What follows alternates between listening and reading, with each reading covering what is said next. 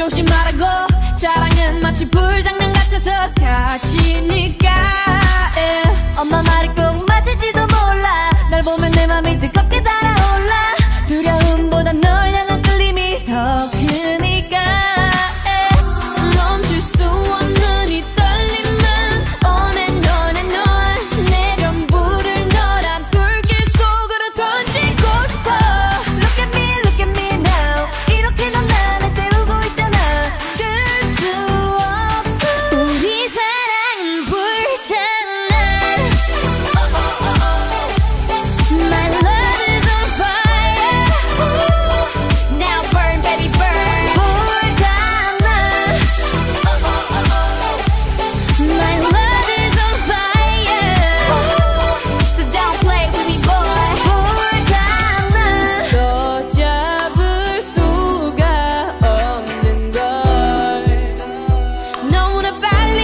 your